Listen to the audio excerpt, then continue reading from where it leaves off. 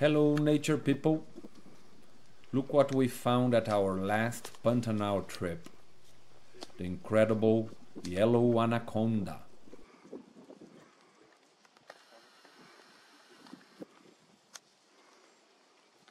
This kind of boa is endemic to South America and it's a bit smaller than the green anaconda.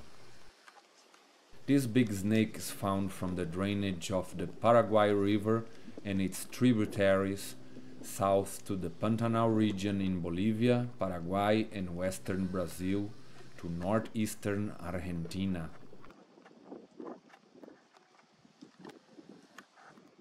Individuals are solitary until the mating season, which normally occurs during the rainy season. Typically, females leave pheromone trails for males to follow.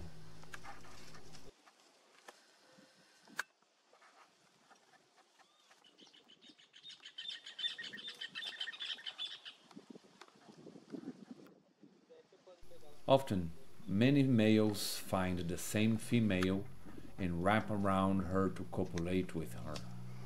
Such a breeding ball of up to 12 males can stay in this position for 2 to 4 weeks.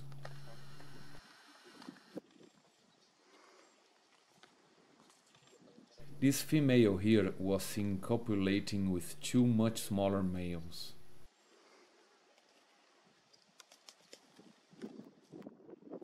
Measuring around 4 meters long, she is now leaving her partners to prepare herself for a six month gestation period.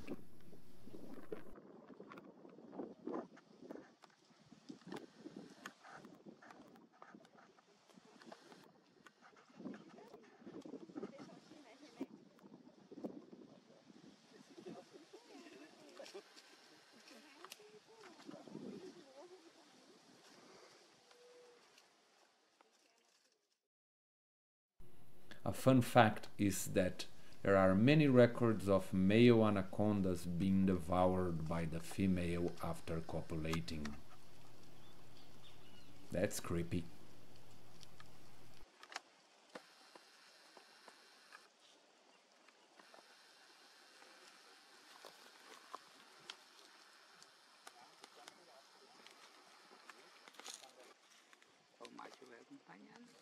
She will give birth to around 30 live young.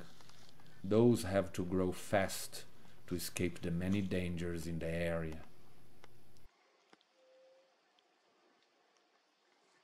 Here in Pantanal, the main predators are the ocelot and the almighty jaguar.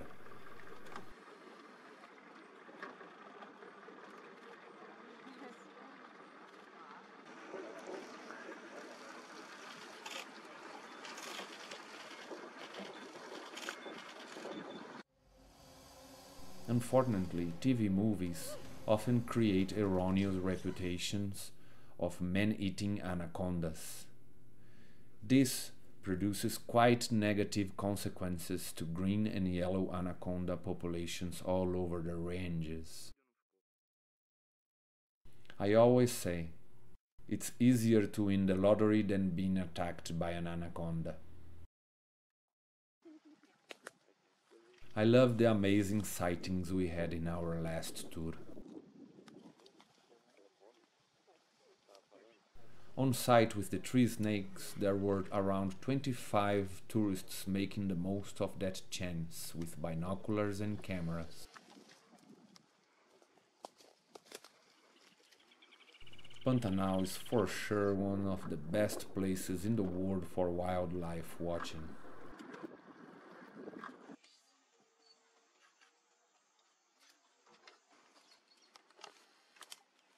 For information about nature and birding tours, send me an email. It's in the description of this video.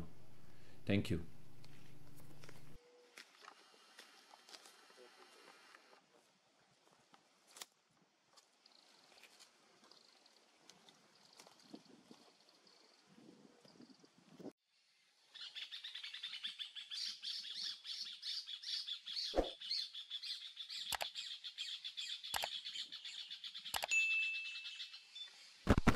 Right here. Oh my goodness.